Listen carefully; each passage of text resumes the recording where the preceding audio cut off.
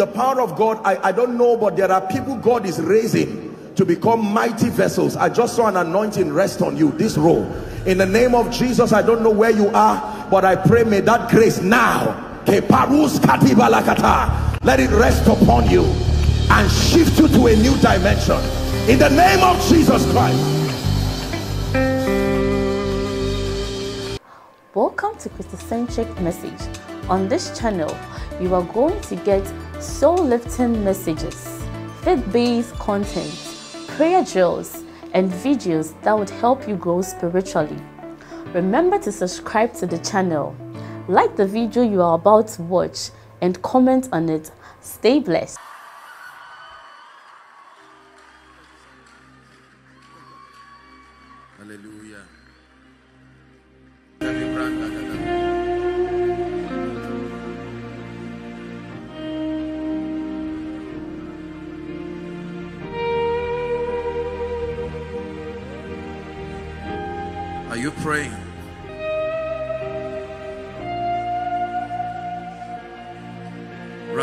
Visitation by your spirit. Shalata kata branda de brede gede belekatu. Shalatos kati brantas shalakatusi.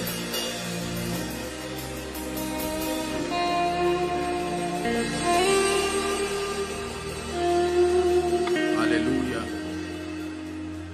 Praise the name of the Lord. I really believe with all my heart that tonight will be an extraordinary night. I believe this from the depth of my heart. And one more time, I truly want to appreciate Reverend Edward. Thank you, sir. Thank you. Thank you. It's an honor to bring the word of the Lord to the people in this church and this region. And I truly celebrate every father, every man and woman of God in this city. May the Lord bless you in the name of Jesus Christ. Um,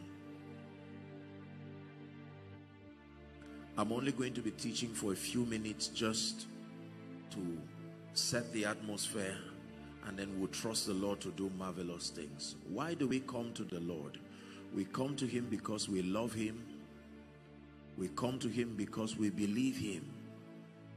But we come to him because we know the Bible says in Hebrews 11 and verse 6 that there is a name he is called, the rewarder of they that diligently seek him.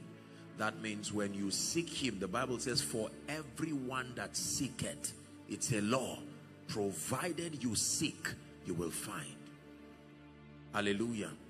And so I trust that God will do us good tonight and bless our hearts in the name of Jesus. Please be seated. I'd like you to pay attention. Just a few minutes with the word.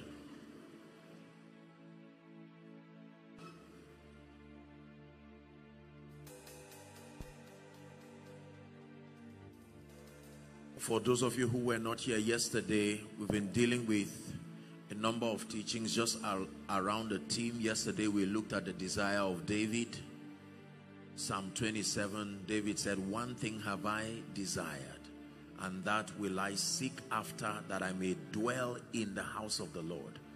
David was communicating his desire. We challenged ourselves yesterday to love and to seek him above things.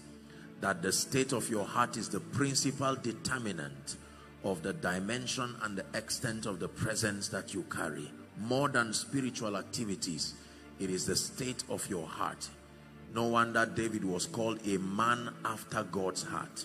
Hallelujah. Praise the Lord.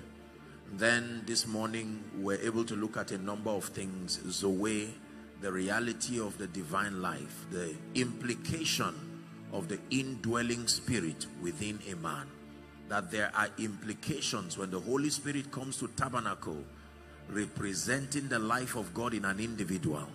There is an implication we spoke about the reality of our oneness with Christ as an overflow, the basis for the manifestation of divinity in and through us. We did speak about our positional advantage according to Ephesians chapter 2.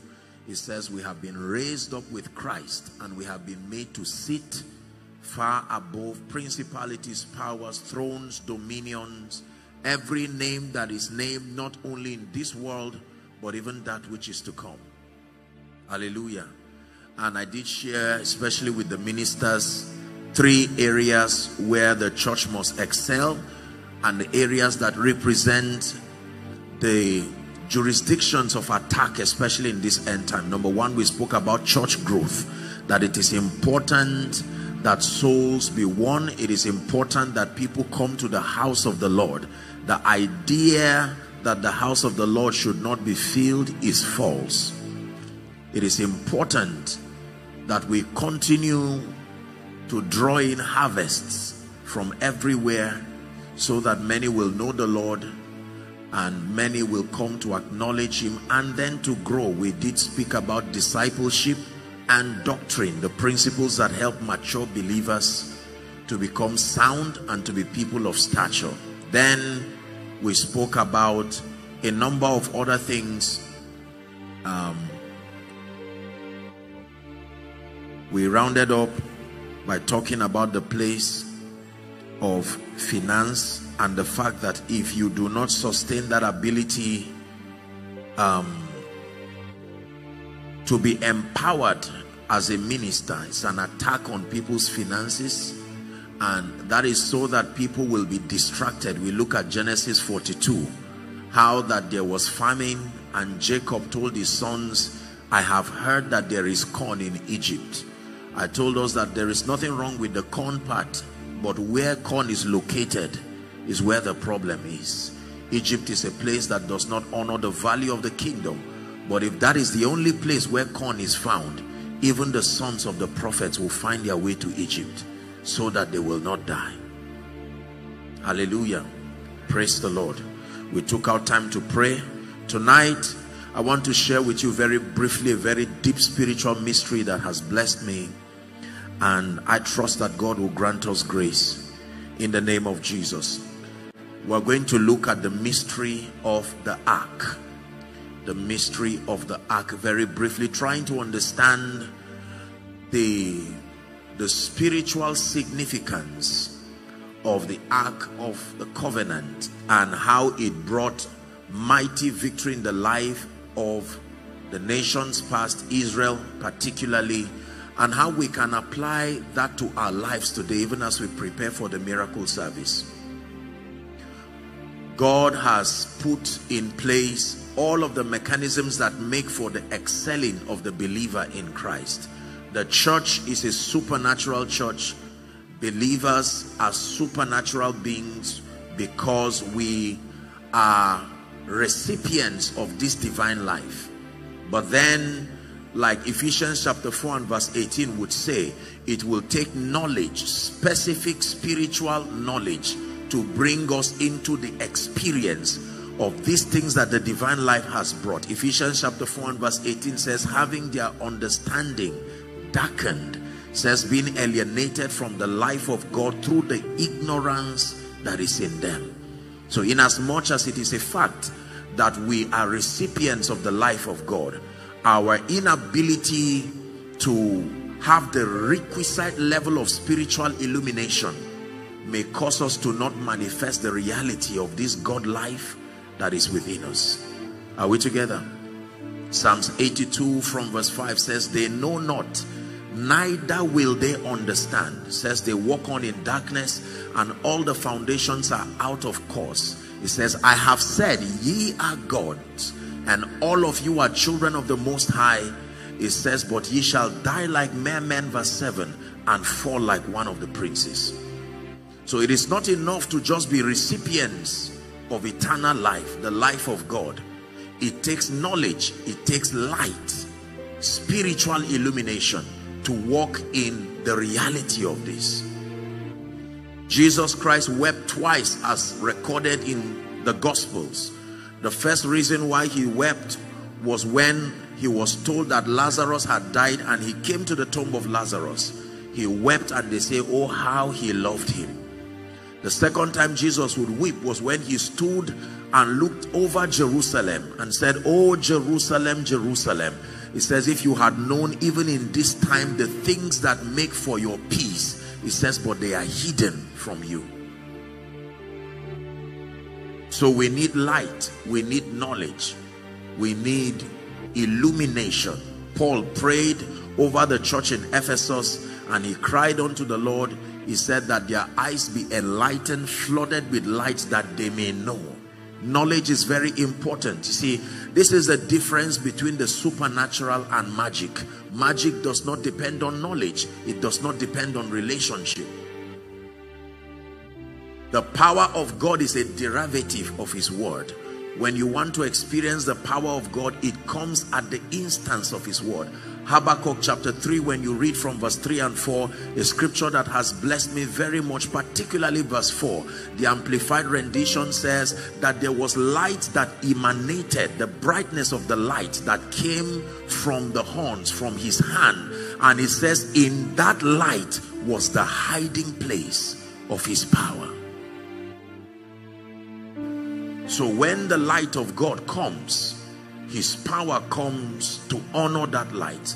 The assignment of the anointing is to insist that the word does not look like a lie. So without the word the anointing has no assignment. The assignment of the word of God is to validate that which has come from the word. When the word of God comes then his power can now find its place in the midst of his people. Are we learning The Bible records that Moses had a very interesting encounter. And in Exodus chapter 25 please turn there we'll hurry up for the sake of time. Let's begin our reading from verse 10 Moses was an was instructed by God himself and he was told to build an ark. Thou shall make an ark of shittim wood he says two cubits and all of that and he gave all of the dimensions. The extended reading is down to verse 22 and you'll see that he was instructed to construct an ark made of very precious wood. And the remaining part of it is history. We see that eventually that ark would be a representation of his presence to the nation of Israel. And in the presence of that ark they wrought victory to a point where the heathen nations took note of the fact that every time they came to battle especially carrying the ark victory was guaranteed they so feared the ark they would tell themselves who could stand against this God of the Hebrews? Because the ark was a representation of the presence of God. God in the midst of his people. God in the midst of his people. Now I'm not I'm not here to deal with the entire exegesis of the whole story around the construction of the ark and so on and so forth. I just want to show you the principle of victory by carrying the ark because this is a miracle service. So i want to help us even as we prepare for what god is going to be doing tonight to understand how you can perpetually walk in victory by understanding the implication of carrying the ark Hallelujah. The ark was a mysterious object that hosted the presence of God and brought great victory. They were not even allowed to open it and see it because of how sacred it was. But then the ark also was a mysterious weapon of destruction and a mysterious weapon of victory it seemed to be able to destroy without mercy and to bring victory completely. What sort of a mysterious object was this? Carried on the shoulder of priests. It would wrought victory for them even in the time of war. When you read first samuel chapter 4 for the sake of time we may not go there but let me just give you the story chapter 4 chapter 5 chapter 6 and chapter 7 of first samuel it gives us a very serious detail now this was at the time theologically or historically speaking this was at the time when Eli, there were many compromises that were happening in the temple. Are we Bible students? He had two sons, Hophni and Phinehas. And these gentlemen were carrying out all kinds of atrocities in the temple. And the Bible notes that their father, who was a priest, was aware. Many times he was cautioned, but then he didn't seem to pay attention at all. And then God sent a prophet to come to Eli and to warn him to say because of this that has happened destruction is imminent the nation of Israel is going to suffer because of this that you have done by the time we get to first Samuel chapter 4 we see that the Philistines came to battle and then the nation of Israel went there and they were so defeated. They were defeated in a way that was it brought great there was casualty. And they returned back and requested they said look let's go to Shiloh and there carry the ark and come with it and even though they brought the ark they were still defeated. In fact the bible says it when you read chapter 4 the bible says as soon as the people saw the ark they began to rejoice thinking it will bring them victory.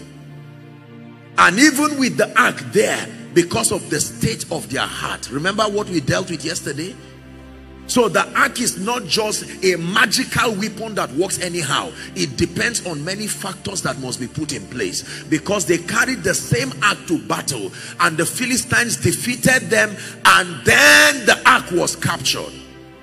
We're bible students isn't it? Yes. Then came a report to Eli who was about 97 years old he was an old man who was sitting and they brought him report. They said the ark of the Lord has been captured and in that process your sons Hophni and Phinehas have died. But that was not even his concern. As soon as he heard that the ark of the Lord was captured the Bible says he fell and because he was an old man he broke his neck and died there and as soon as that report got to the wife of Phinehas, the Bible records that she was already pregnant and almost due with child. As soon as she had that, labor kicked in immediately. And she pushed and gave birth and in her pain, she named the child Ichabod. And he said, because the glory of the Lord has departed. If the ark has been taken, then it means there is no possibility of victory for this nation. And she named her child as a memorial that Israel had lost everything. That the departure of the ark was also the departure of the glory the departure of the relevance of Israel. Are we together? Let's read chapter 5 chapter 5 of first Samuel now arise, O Lord. Would you come to your resting place? You and the ark of your might. And then we will rejoice as we clothe in your righteousness. We celebrate Hallelujah. Will it be projected? Okay. Let me just use my Bible. So the Philistines captured the ark and they were happy. Watch this now. I will just rush and then we'll read some part. I like us to read verse 5 because uh, chapter 5 because it's very important. Now they captured the ark in chapter 4 and they were rejoicing. They took the ark and they went and kept it in their midst. And the Bible says trouble started for them immediately. That they carried that ark just thinking it was an object. And they started to die. All kinds of destruction started happening in their camp. No one was saying anything, but there was such destruction that was happening. But one of it that was very very important. The bible says 5 verse 1 let me read.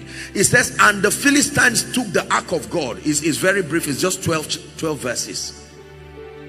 The philistines took the ark of god and brought it from ebenezer unto ashdod. And when the philistines took the ark of god and they brought it to the house of their god called dagon. And they set it by dagon the bible says verse 3 and when they of ashdod rose early on the morrow behold dagon was fallen to his face before the ark of the lord they took dagon and set him in his place again a god that cannot raise himself up how can he raise other people up You see how unwise idol worship is? He fell just from the top to the ground. And you want to lift people out of the pit.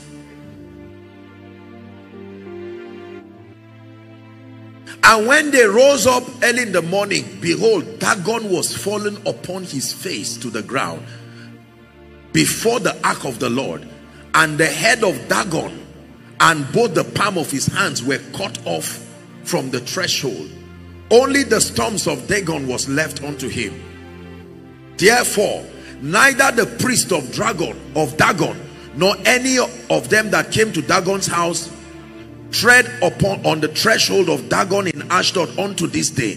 It says, but the hand of the Lord was heavy upon them. They took the ark to the wrong place, desecrated it, kept it carelessly. And God said, my presence does two things. It can bless and it can destroy. Depending on how the state of your heart the hand of the Lord came in honor to that ark and the Bible says it destroyed them and smote them. When you read verse 7 when the men of Ashdod saw that it was so they said the ark of the God of Israel shall not abide with us. For his hand is sore upon us and upon Dagon. My goodness my God that means something can happen to you that the devil can say go go away. Look at these people are negotiating. They took something that they did not understand the implication of and now they started having a meeting among themselves. What is this trouble we have brought to ourselves? Let's find a way of taking it out of this place. The Bible says they gathered all the lords of the Philistines verse 8 unto them and said what shall we do with the ark of the God of Israel and they answered, let the ark of the God of Israel be carried about unto Gath. When you read on, they took it to Gath. And after they carried it, the hand of the Lord came upon that city, descended upon the city, and started causing havoc within that city. It was a great destruction, verse 9 says, and he smote the men of the city, both small and great, and then the ark of the Lord was taken to Ekron. And when they got to Ekron, the Ekronites started crying, saying, They have brought about the ark of the God of Israel to us to slay us and our people. So they gathered together the lords of the Philistines and said, Send away the ark of the God of Israel. Let it go again to his own place, that it slay us not and our people for there was a deadly destruction throughout all the city and the hand of God was heavy there. And the men that died and the men that died not were smitten with the emerods. And the cry of the city went up to heaven. Now when you read all of this you find out that everywhere the ark of God was mismanaged with dishonor and lack of discernment it, the ark was not neutral. It was either blessing or cursing they carried the ark and thought it would be an artifact that they would keep. And God said no this is a representation of my presence. I instructed Moses himself. And he carried that ark and took it in a wrong place and it caused havoc. Now for time's sake when you read chapter 6 and then you go to chapter 7 particularly the people began to cry and Samuel the prophet came and told them he said look the reason why the beauty and the potential the power the protection of this ark is not working is because of the state of your heart.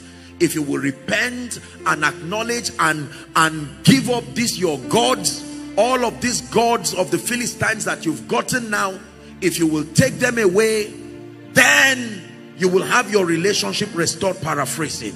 Samuel, verse 7 and 3. Samuel spake unto all the house of Israel, saying, If ye do return unto the Lord with all your heart, and put away the strange gods of Ashtaroth among you and prepare your hearts unto the Lord and serve him only he will deliver you out of the hands of the Philistines and the people responded and they said Baalim and Ashtaroth we will not serve you again. We will serve the Lord only.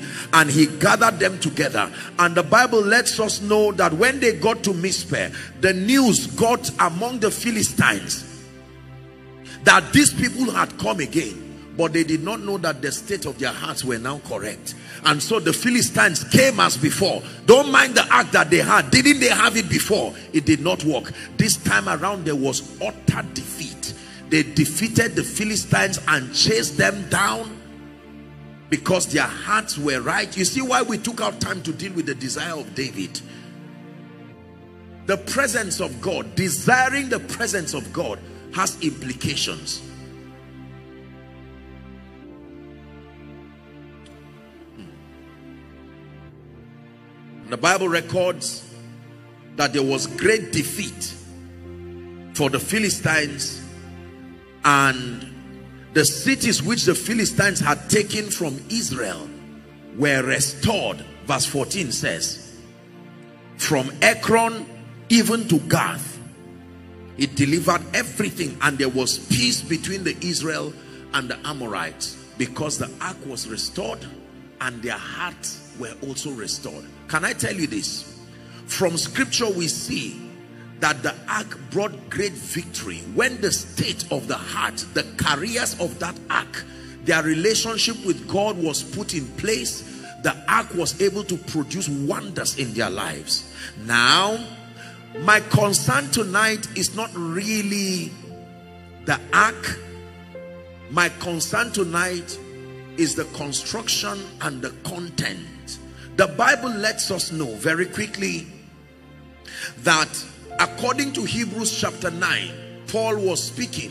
When you read from verse 1 and 4, 1 to 4, Paul gives us um, a picture. He gives us a very graphic representation of all that was represented in the ark. And I want us to look at it very briefly. Ready? Hebrews chapter 9 that's all right. I'll turn back and read.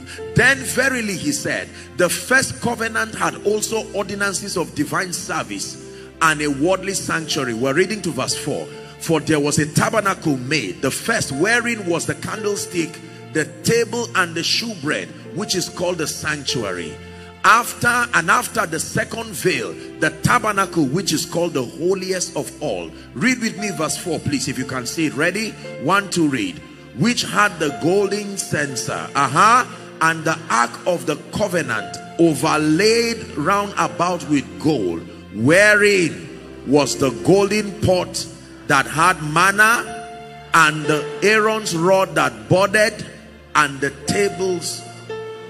So we know that there were three things from Exodus and from Hebrews that the ark, it was so designed to be a, a um, it was like a chest, a triangle, a, a, a rectangular chest. Are we together?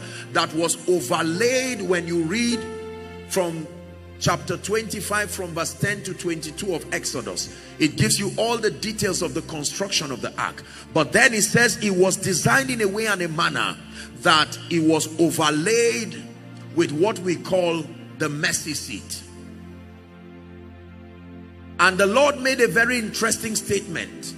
He says, above the mercy seat, below the cherubims, there I will meet with you and I will relate with you intimately. There was a location.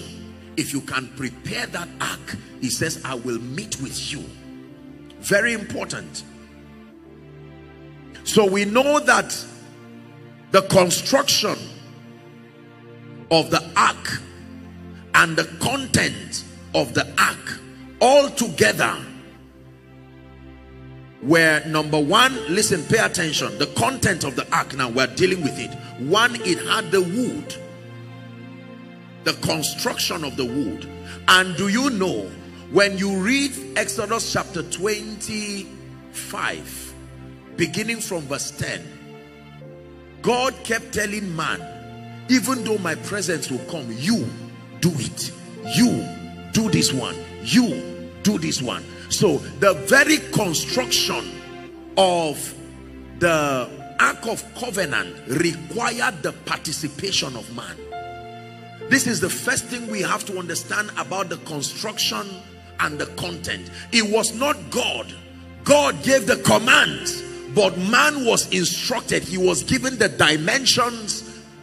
He was told what to do but he had to do it that means if you want to experience the glory of god there is a role that you have to play it is not all up to god and it is not all up to you there is a participatory role that man will always play as far as hosting the grace the power the wisdom the presence of God is concerned.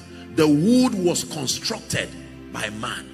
It took the meticulousness, the discipline, the diligence of going to look for the exact wood and the specification.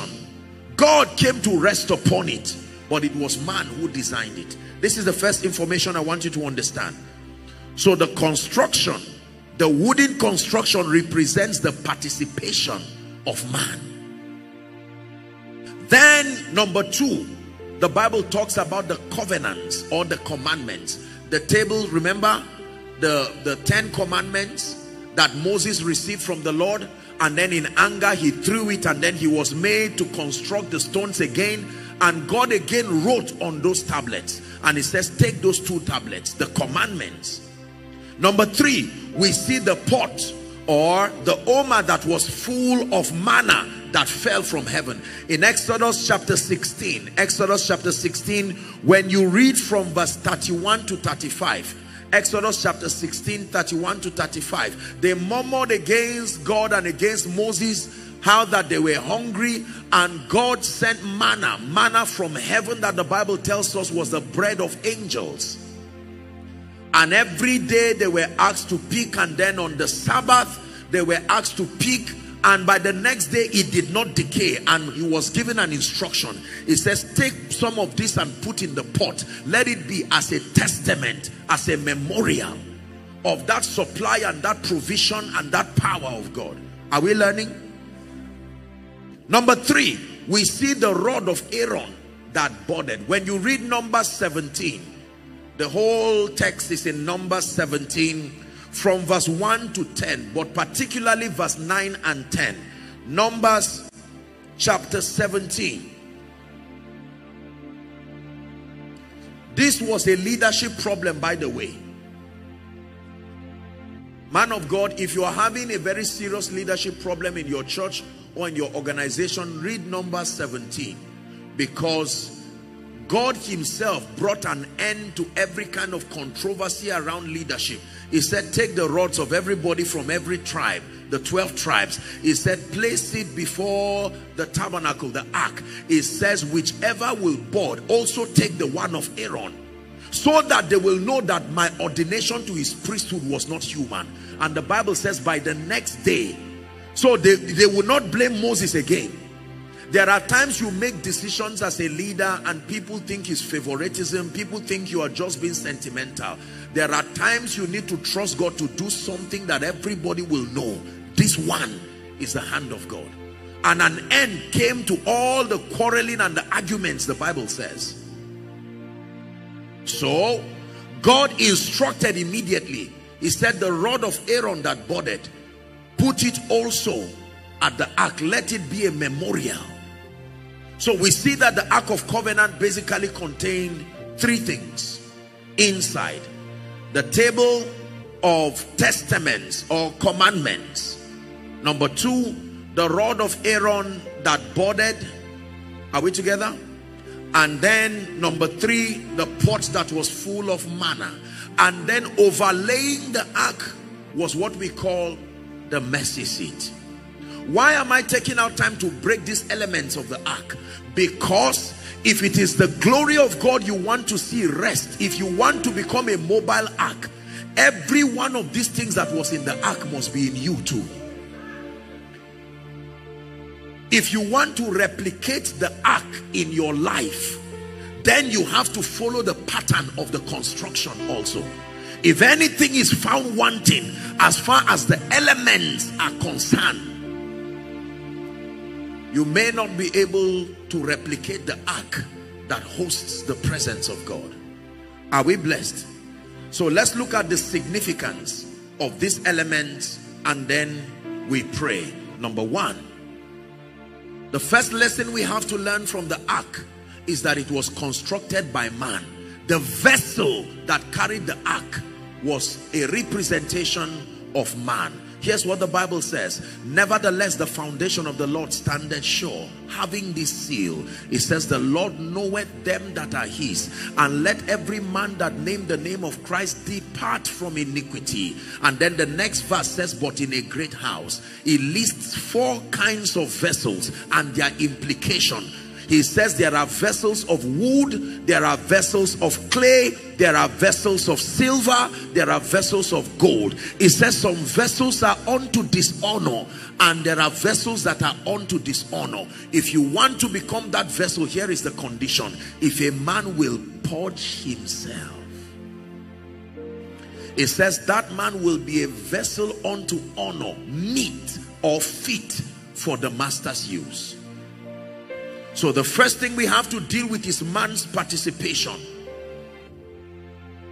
The discipline and the diligence of allowing your life to become that worthy habitation that can host the fullness of the presence and the power of God. If you're with me, say amen. The ark was made of choice wood, expensive, valuable material it was not just made of careless wood it was it was meticulously built by the intelligence and the artistry of man. Number two for the sake of time what is the significance of the covenants the commandments?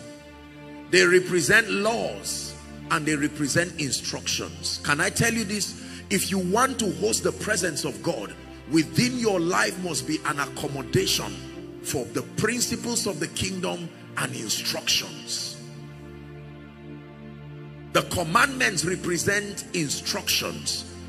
And these instructions notice that principally these instructions come from and through men. They come from God but they come through men. When God delivered the Ten Commandments he was the one who wrote it. But the person who interpreted and explained it was Moses the man. Any man who is not given to the reception of divine instructions can never truly host the glory of God. Are we learning something now? We are constructing the ark in our own lives now that the first element that is needed is you. The vessel must be sufficient. Not in yourself necessarily but that purging by the blood by the word. To become a vessel of honor and then instructions.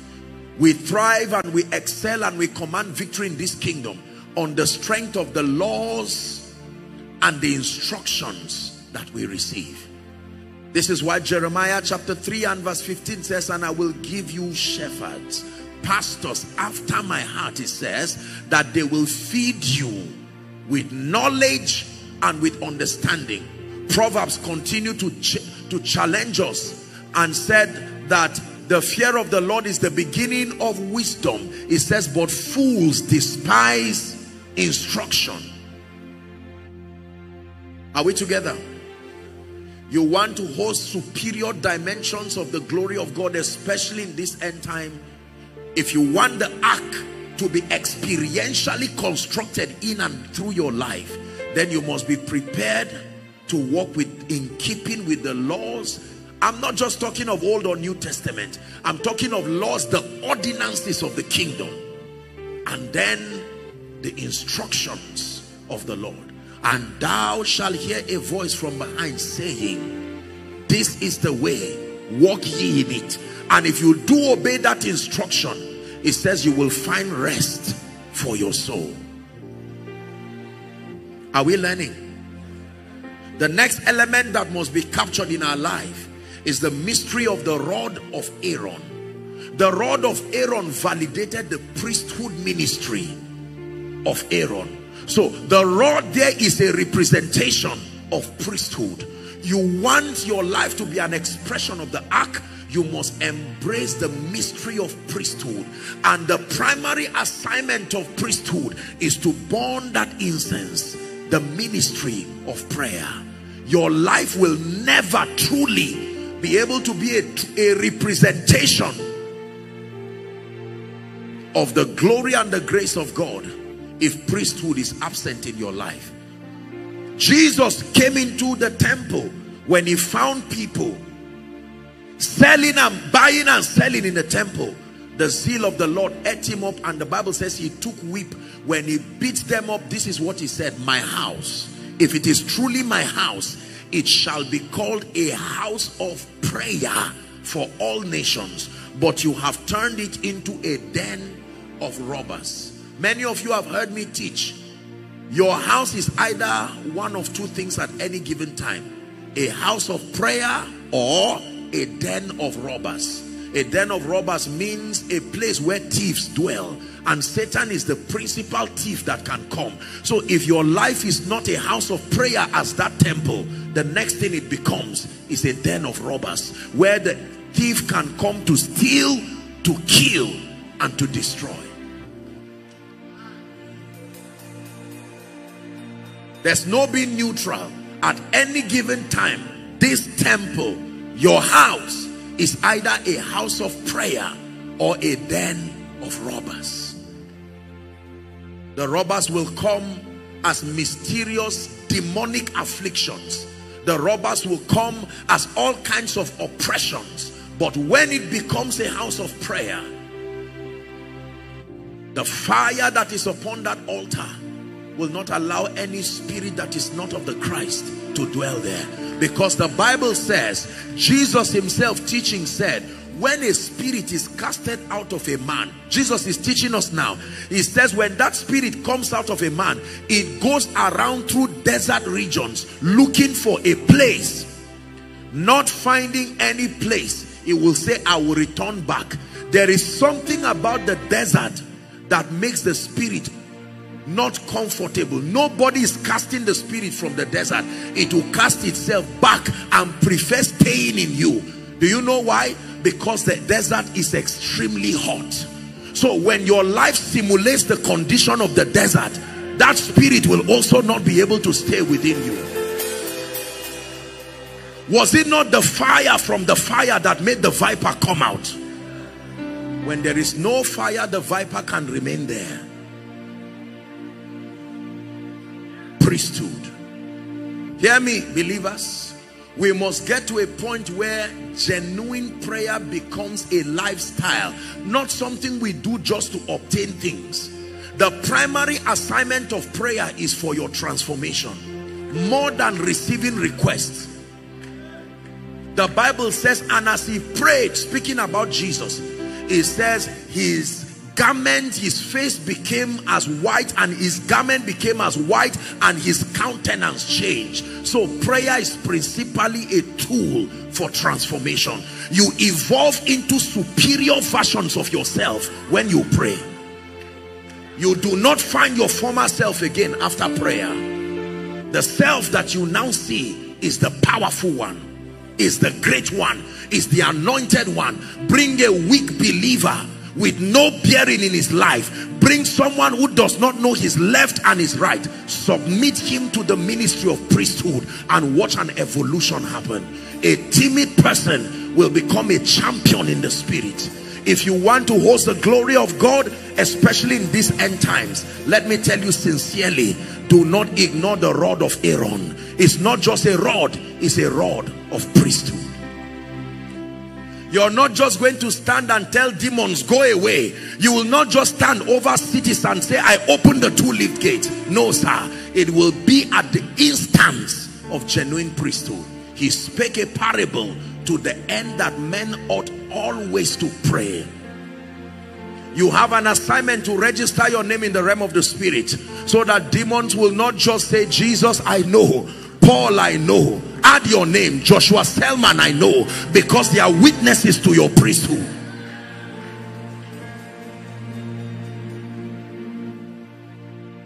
We're discussing the ark. Remember the wood of Acacia the acacia wood. Remember the commandments laws and instruction. Remember the rod of Aaron priesthood now the next is the pot or the omer that carried manna Pelaskida branda katoshke debria.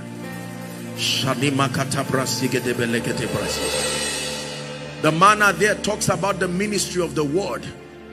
Jesus himself was speaking about this in Matthew 4. He said, man shall not live by bread alone, but by every word. Every word.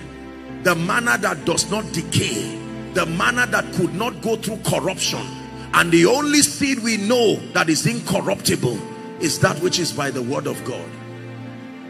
Listen to me. The word of God defines the jurisdiction of his commitment to the believer. God cannot be committed to the believer outside of the scope that the word of God allows him. He has chosen to exalt his word even above his name. This is the difference between the faith life and superstition. God is bound only by his word. That means if you want to get God committed to your life, it must be the, the legal basis upon which you will place your demands must be scripture. When Satan came to him, he didn't say, I think. He didn't say, I wish. He said, it is written. What gives us victory in this kingdom is what is written, not what we want. Whatever you want, you must find out whether it is written or not. If what you want is not written, it cannot happen. What you want only happens when it is written. Please listen to me. If you want to host the glory of God upon your life, your church, your business, it must be a ministry that has respect and value for scripture. It was written so that it cannot be changed. It is written. Matthew chapter 13 and verse 11. Jesus himself was teaching and he said, it has been given unto you to know the mysteries of the kingdom of heaven.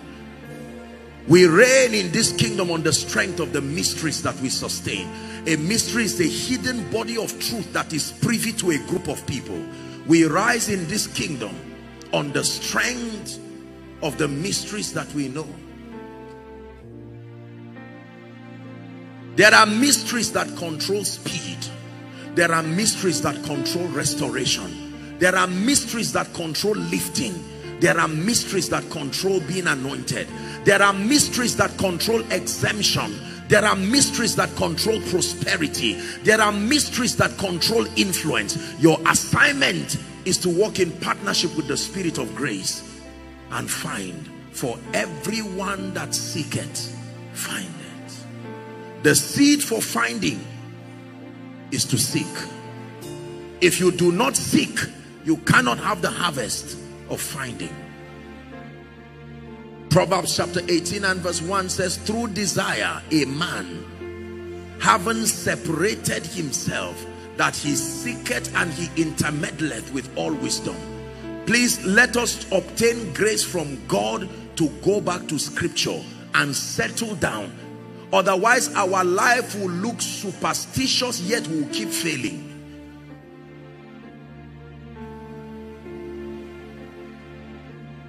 I believe the word of God.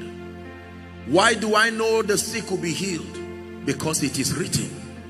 Why do I know God will commit himself to your lifting tonight? Because it is written. Not because I am a man of God. Being a man of God is a secondary reason. The primary reason why all things happen is because it is written. John chapter 1 and verse 3. All things were made by him. And without him, without him means outside of his influence was not anything made that was made. That means when you neglect the word of God, the possibility of creation and manifestation has left you. It has to be at the instance of the word. Hebrews chapter 1 from verse 1 and 3 says, God who in sundry times and diverse manners spake to us in time past through the prophet had in these last days spoken to us through his son which is the word whom he had appointed to be heir over all things and then when you read verse 3 he says who being the brightness of his glory and the express image of his person and upholding how many things? Upholding my tomorrow. Upholding my tomorrow. Upholding my tomorrow through the word of his power. Up, upholding my future my confidence is beyond the advantage or the disadvantage in a territory. Your confidence must be based on it is written. It is written. Why will you succeed? I have a great father. You are joking. Woe unto him that puts his strength in a man. Even the word himself use it is written to defend himself. The word of god didn't say my opinion. The word submitted to it is written can i tell you this you must know how to defend your victory. It is written. Why should i leave this family? It is. Not we are members of a particular church. That is wonderful. There is a place for prophetic covering. But i tell you the real reason why we excel in this kingdom is because it is remember the manna. It was kept there as a memorial that there is no victory for you if it is not written. Anything that is not written cannot happen. The anointing of the spirit does not work at random. The anointing of the spirit follows what is written. So if you are making claims in prayer there is a verification system in the realm of the spirit before the anointing begins to move on that wise the anointing does not just come because you want it to come. The anointing verifies whether that desire is consistent with what is written. Preachers let's stop preaching what we want and preach what is. Because what we want will not come to pass until it is written. Please sit down. The lord is turning you into an ark. Now you know what makes the ark more than the object. The participatory role that you have to play. Sitting down and waiting for God to do everything is a joke. It took man to build the ark. It will take you to make that place conducive for him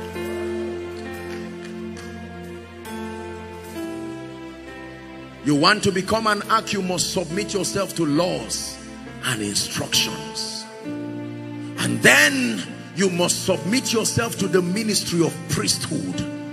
You must learn to pray until you evolve into a vessel of honor.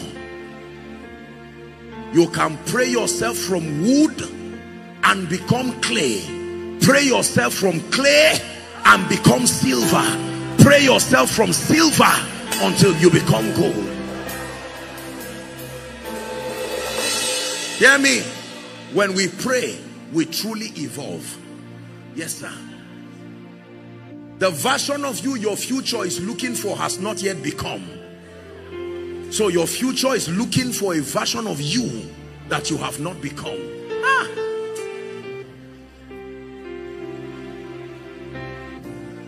The dream you saw about your greatness, that dream was designed to happen to another version of you, not this version. And your destiny keeps waiting. So it looks like you are not moving forward. And God is saying, no, I want to bless you. But there is a version of you that must carry that anointing the anointing you are looking for for nations cannot come on this fashion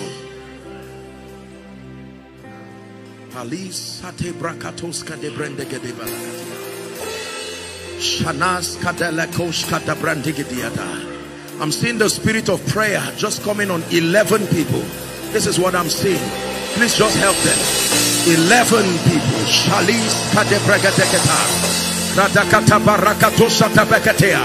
Now you understand that prayer is for your growth, for your evolution.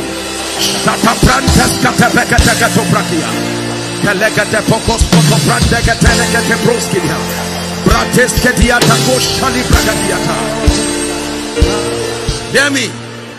Hear me. You can pray an old realm out of your life into a new season. You can use prayer to close seasons and open new ones.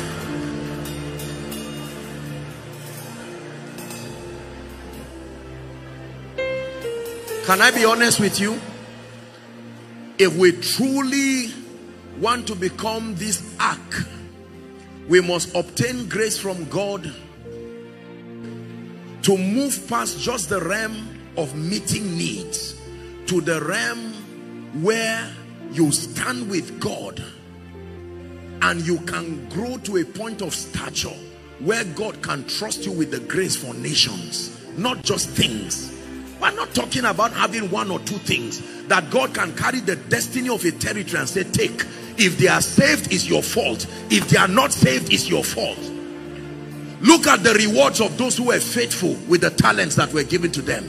Authority over nations.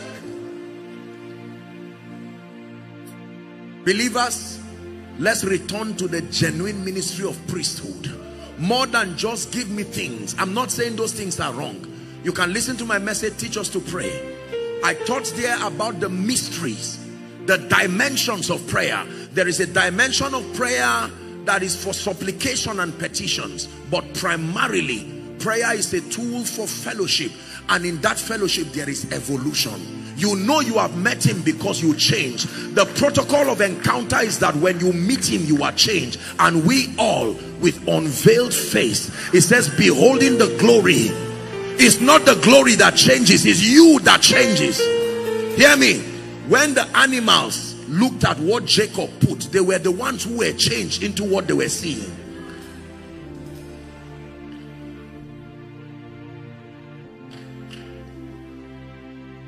Then the manna which is the word of God ignorance is dangerous in this end time.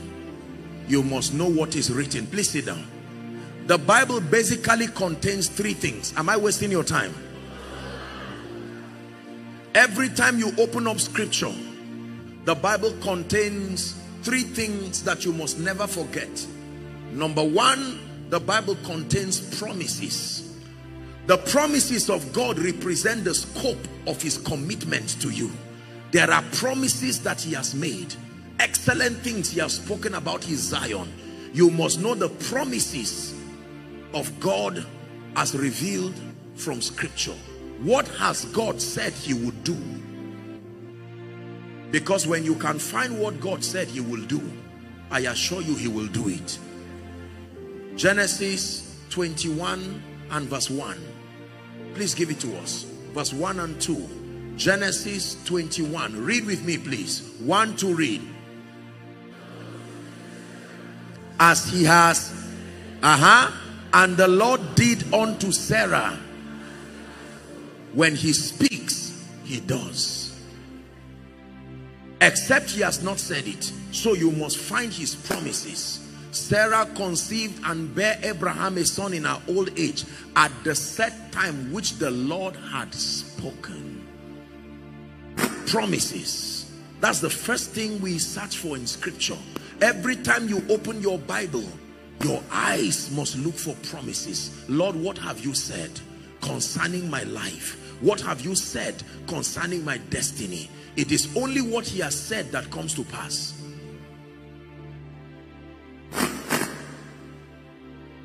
Integrity is the ability to say and do. If God has not said, why should he do? So when you find what he has said, then because he's a God of integrity, the Bible says God is not a man that he should lie. That means men lie. Men don't lie because they are bad. They lie because they are men. Hallelujah. God is not a man that he should lie. nor the Son of Man that he should repent. You can trust what he said. Now listen carefully. The second thing that is contained in scripture are principles. Principles represent the modus operandi of the kingdom, how the kingdom operates. When you study scripture, you find therein principles. Jeremiah chapter 6 and verse 16. It says to stand and to ask. Look at that path, that old path. Stand in the way and ask for the old path. It says, wherein is the good way? And when you have found it, walk in it. Jesus the word also called himself the way. There is a revelation of Jesus called Jesus the way. How things are done in the kingdom. There is a way God lifts people. There is a way God restores. There is a way God anoints. There is a way God increases. There is a way God def defends people. You have to understand the ways of God. Before he showed Moses his glory, the first thing he showed Moses were his ways. So promises, principles. The third thing we find in scripture are prophecies, revelations about the future to be able to give you hope and to give you comfort. We find in scripture prophecies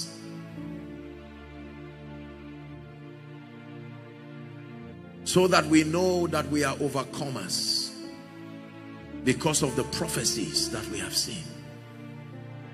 Every time you open your Bible, you are searching for these three things. Promises, principles, prophecies. If your life is built upon the integrity of it is written, the dust will come and go.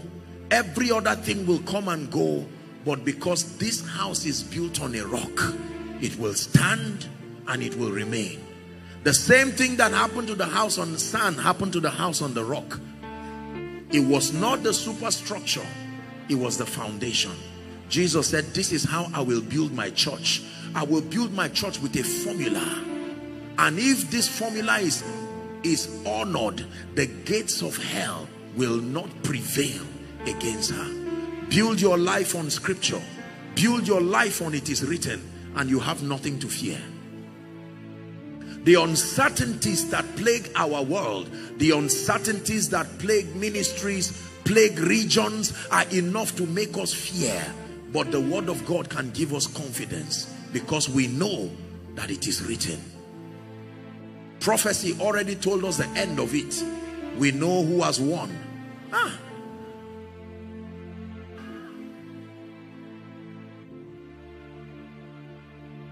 There are times that you are watching a movie and someone who has watched it before is sitting with you. He cannot have your anxiety. They kill the actor and you are frustrated. I've wasted one hour. I thought this man will win and the person says, you just keep watching. And you are wondering, what, where is your confidence coming from? The confidence is coming from the fact that he's watched it before. He watched it right to the point that he saw the end. And I can tell you, this right here already told me the end of my life.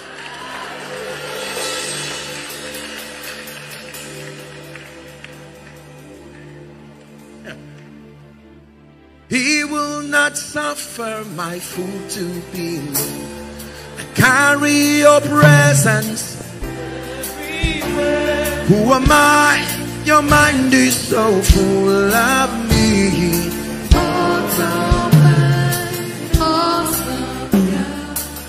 I have found the end of my destiny here.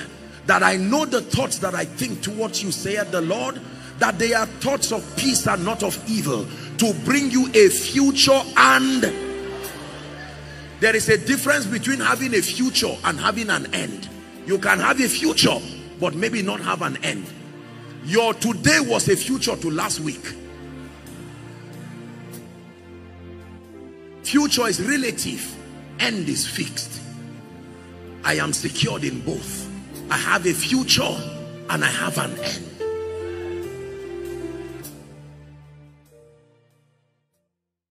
Dearly beloved, I hope you were blessed by this message. Do not keep the video to yourself. Share to as many as you can to help them bless. Check our homepage for more of our messages. Subscribe to the channel, comment on it, like it. See you on our next video. Bye. Pray, pray, pray for your destiny.